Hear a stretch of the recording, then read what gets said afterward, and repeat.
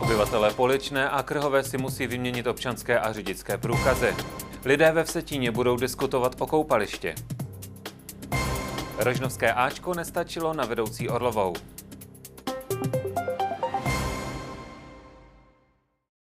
Hezké pondělí, pojďte se s námi podívat na nejčerstvější novinky z Valašska. Od 1. ledna 2013 se Poličná a Krhová, které jsou dosud místními části Valašského Meziříčí, stanou samostatnými obcemi. Pro jejich obyvatele to znamená povinnost výměny občanských, řidičských a technických průkazů. Celkem se jedná o více než 11 000 dokladů. Jako klid před bouří můžeme nazvat dosud prázdné chodby na mezříckém odboru evidence obyvatel.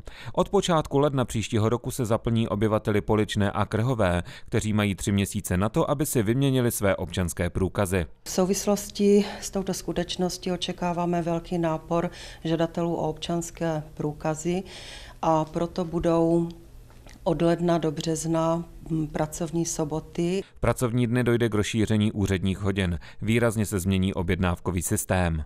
V období od ledna do března bude vyvolávací systém ve vestibulu eh, bude vypnut, nebude fungovat a také nebude fungovat internetové objednání. K návštěvě odboru evidence obyvatel se musí každý občan objednat telefonicky, a to i ti, kteří nejsou skrhové nebo poličné. Pro žadatele, kteří se chtějí vyhnout frontám, existuje i jiné řešení. Chtěla bych upozornit občany, kteří nebudou eh, chtít, pokud budou dlouhé čekací doby čekat, že můžou využít také kteréhokoliv v eh, obecního úřadu obce s rozšířenou působností v celé České republice. Rozšířená pracovní doba a telefonické objednání platí také na odboru dopravně správních agent. K výměně technického průkazu občané Nechť si sebou vezmou malý technický průkaz, velký technický průkaz a občanský průkaz, případně pokud se teda budou nechat zastupovat, tak neověřenou plnou moc.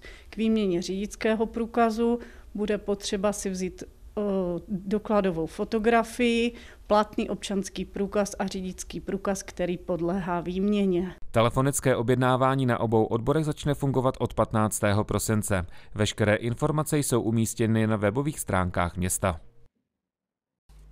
I když už za 14 dní jsou tu letošní Vánoce, chystá právě v těchto dnech vedení v Setinské radnice další veřejné projednávání.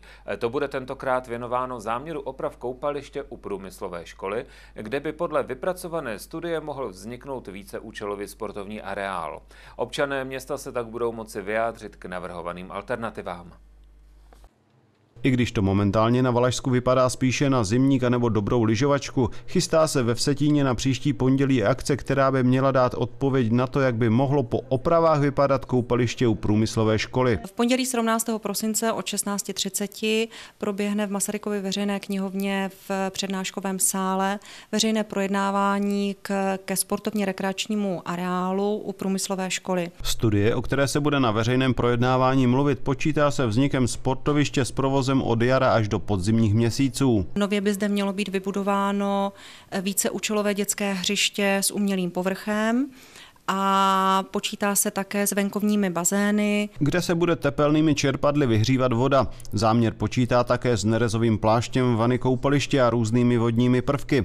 Celkové plánované náklady na opravu se pohybují něco přes 41 milionů korun z DPH. Pokud všechno půjde tak, jak má, tak by práce mohly začít na podzim roku 2013, tak aby areál byl občanům k dispozici již na sezónu roku 2014. O tom, jak by jeho výsledná podoba měla ale vypadat se ve vsetí Vsetíně zřejmě nebude mluvit jen v pondělí 17. prosince.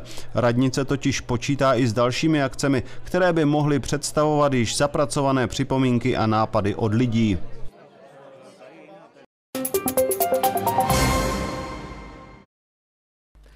Více než 20 tisíc korun. To je částka, kterou vynesly dva zatím uskutečněné adventní koncerty v Rožnově pod Radhoštěm. Výtěžek prvního z nich byl určen na podporu domova Kamarád. Částka, která se vybrala při včerejším vystoupení, poslouží na rozvoj Centra pro podporu duševního zdraví Iskérka. V neděli 9. prosince se v Rožnovském kostele všech svatých uskutečnil letos už druhý adventní koncert. Dnes uslyšíme z pěveckého oddělení Trio, dále uslyšíme především literárně dramatický obor, který přednese povídky, příběhy svázané s dobou adventní a vánoční a také uslyšíme cymbálovou muziku Kotulu, která tentokrát nebude hrát folklor, ale zaměřila se na středověkou hudbu a hudbu klasickou. Výtěžek každého ze čtveřice koncertů jde ve prospěch některé pomáhající organizace. Loňské příspěvky činily necelých 70 tisíc korun. V neděli 9. prosince přispívali návštěvníci na sociální centrum denních aktivit Iskérka. Celkem se vybralo téměř 11 tisíc korun. Nejde jenom o ty peníze, jako je to výborné vědět, že lidé v Rožnově podporují organizace, jako je Iskerka nebo i Kamarád nebo Charita, že prostě ta podpora tady v Rožnově a že se daří ty adventní koncerty tak dlouho vlastně držet a že mají tu tradici a lidé jsou zvyklí tady chodit.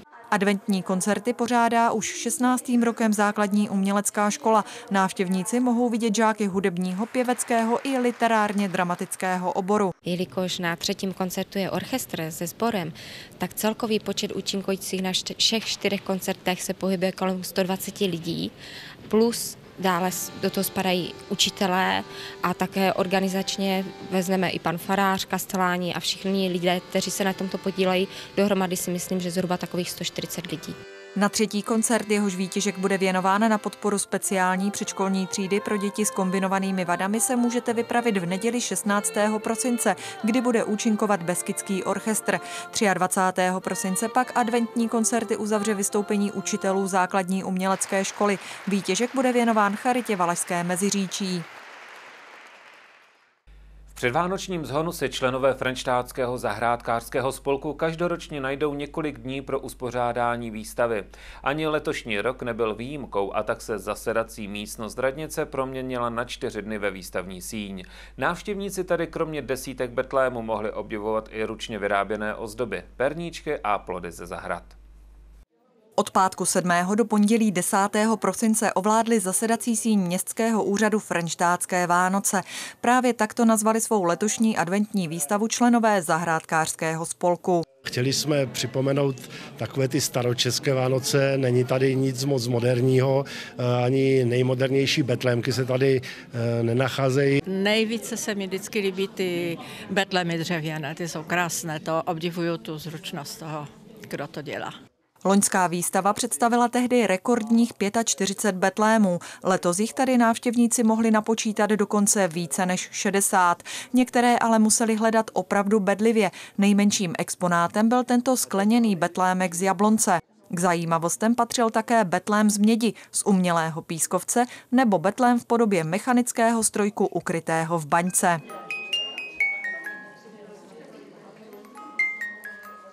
K nejstarším exponátům patřil tento papírový betlém. V rodině paní Vlasty Trčkové je součástí vánoční výzdoby už bezmála 8 desetiletí. Ten je z roku 34 tady ten.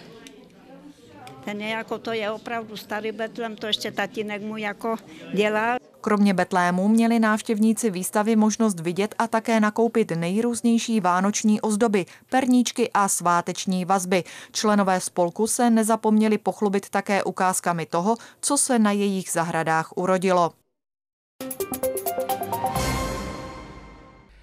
A tým hokejistů Rožnova marně vzdoroval vedoucímu celku krajské ligy Orlové. Už první třetině dostal pět branek a nakonec prohrál o 7 gólů 4-11.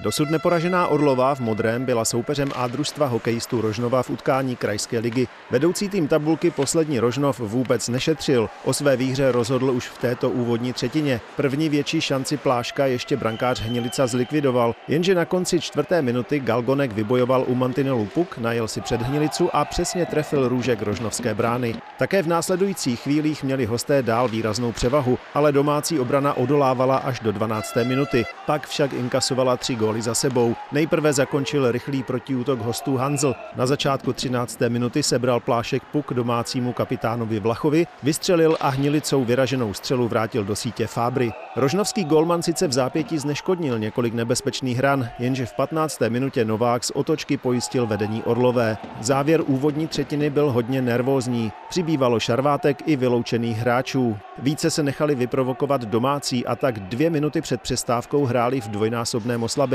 Orlová toho využila ke vstřelení páté branky, trefil se studený. O vítězství hostů už nebylo pochyb. V dalších třetinách sice Rožnov dokázal skórovat, ale nakonec podlehl Orlové vysoko 4-11. Dnešní zprávy jsou u konce, u těch dalších se s vámi budu těšit opět zítra. Na viděnou.